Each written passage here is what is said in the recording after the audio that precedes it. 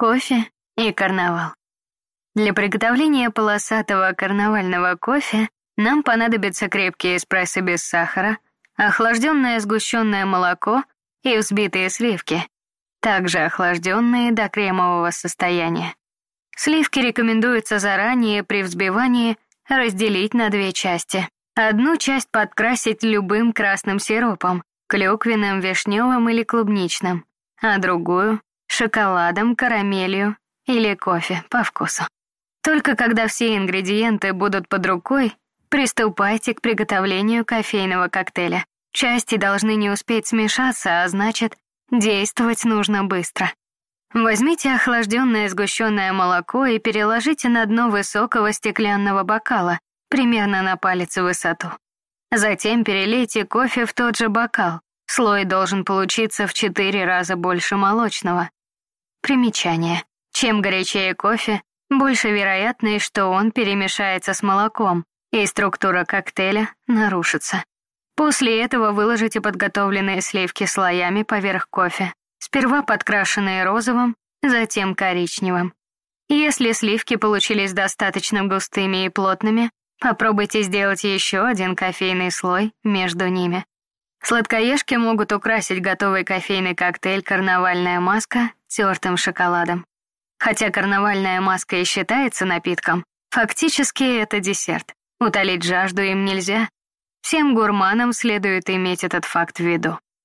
Уже три дня я предавалась блаженному безделью, и это постепенно взращивало в груди моей ростки болезненной скуки. С точки зрения маркиза Рокфорта, к слову, на борту Мартиники было чем заняться.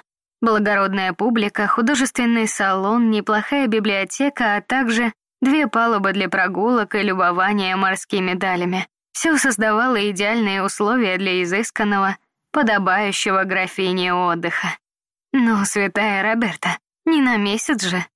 Мартинику, насколько я знала, изначально не планировали делать круизным лайнером. Джордж Конкорд, немолодой уже колонец марсавийского происхождения, хотел построить судно для перевозки хлопка из нового в старый свет. Однако увидеть свое детище на плаву предприимчивый делец не успел. Он скончался от апоплексического удара, оставив завещание, в котором поделил между четырьмя сыновьями свою империю дальних перевозок и множество долгов. Неудивительно, что наследники вскоре за небольшое вознаграждение уступили непростой, требующий солидных вложений проект молодому племяннику покойного, Рону Мэри. Человеку авантюрного склада характера, но при том солидного достатка. Арон Мэри всегда мечтал стать капитаном собственного лайнера, который храбро бороздил бы морские просторы от Аксонии до Колони, от Альбы до Эльды, от Пхарта и до Никона. Так, спустя два года после смерти мистера Конкорда на воду была спущена Мартиника, роскошный лайнер длиной чуть больше 130 метров с пятьюдесятью пятью членами экипажа на борту и всего шестью десятками пассажиров.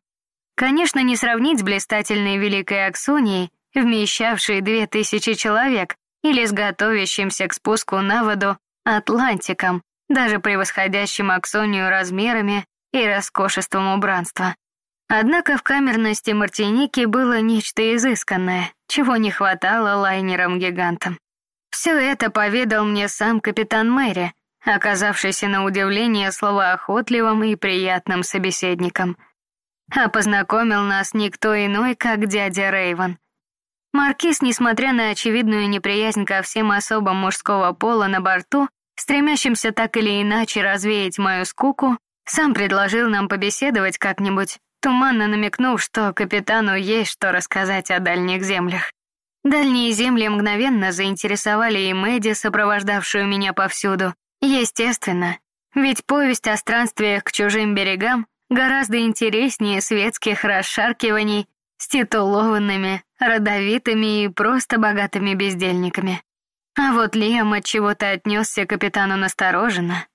И я догадывалась о причине. Это ведь из-за маркиза, верно? Капитан Мэри был представлен мне еще утром, но вот поговорить с Лиэмом с глазу на глаз, ну, если не считать Мэдди, удалось только ближе к закату. Угу, не стал